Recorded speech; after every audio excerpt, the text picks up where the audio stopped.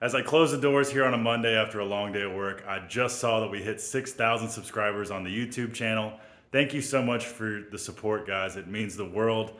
As a small business owner, someone who pours his heart and soul into something, thank you, thank you, thank you.